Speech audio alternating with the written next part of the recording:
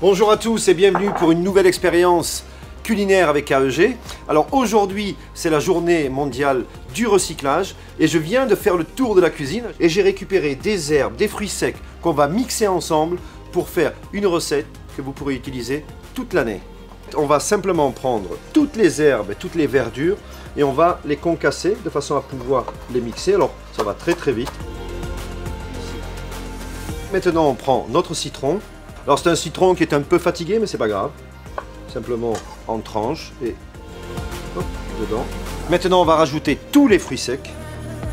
Là j'ai un petit peu d'amande. J'ai même quelques croutons.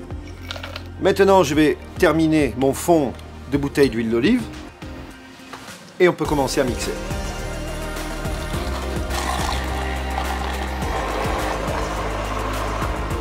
Donc voilà une technique que vous devez utiliser tout au long de l'année pour recycler et surtout ne plus jeter. Et je peux vous garantir que même avec une feuille de chicon, simplement comme ça, c'est délicieux. À très bientôt.